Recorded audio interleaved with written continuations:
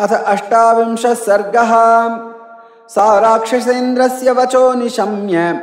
तद्रावणस्याप्रियमप्रियार्ताम् सीता वितत्रास यथा वनान्ते सिंहाभिपन्ना गजराजकन्याम् सा राक्षसेन्द्रस्य वचो निशम्य। तद्रावणस्याप्रियमप्रियार्ताम् सीता वितत्रास यथा वनान्ते सिंहाभिपन्ना गजराजकन्याम् सा राक्षसेन्द्रस्य वचो निशम्य। तद्रावणस्याप्रियमप्रियार्ताम् सीता वितत्रास यथा वनान्ते सिंहाभिपन्ना गजराजकन्याम् सा राक्षसीमध्यगता च भीरुः। वाग्भिर्भृशं रावणतर्जिता च।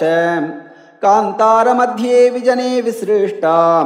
बालेव कन्या विललापसीताम् सत्यं बतेदं प्रवदन्ति लोके। नाकालमृत्युर्भवतीति सन्तः।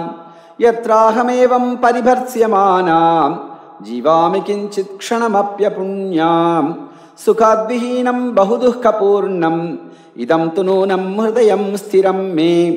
विदीर्यते यन्न सहस्रधाद्य वज्राहतं शृङ्गमिवाचलस्य। नैवास्ति दोषो मम नूनमत्र वध्याहमस्या प्रियदर्शनस्य भावं न चास्याहमनुप्रदातुम्।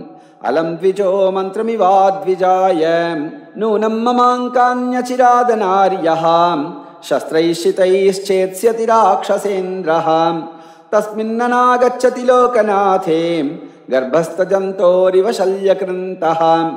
दुःखं बतेदं मम दुःखितायाः मासौ चिरायाधिगमिष्यतो द्वौ। बद्धस्य वध्यस्य तथा निशान्ते। राजोपरोधादिव तस्करस्य हा लक्ष्मणः सुमित्रे। हा राम मातः सह मे जनन्याम्। येषा विपद्याम्यहमल्पभाग्या महार्णवेनौरिव मूढवताम्। तरस्विनौ धारयता मृगस्य। सत्त्वेन रूपम् मनुजेन्द्रपुत्रौ नूनं विशस्तौ मम कारणात्तौ सिंहर्षभौ द्वाविव वैद्युतेन। नूनं सकालो मृगरूपधारी मामल्पभाग्यां लुलुभे तदानीम् यत्रार्यपुत्रं विससर्जमूढाम् रामानुजं लक्ष्मणपूर्वजं च। हा राम सत्यव्रतदीर्घबाहो हा पूर्णचन्द्रप्रतिमानवक्त्र हा जीवलोकस्य हितः प्रियश्च वध्यां न मां वेत्सि हि राक्षसानाम् अनन्यदेवत्वमियं क्षमा च। भूमौ च शय्या नियमश्च धर्मे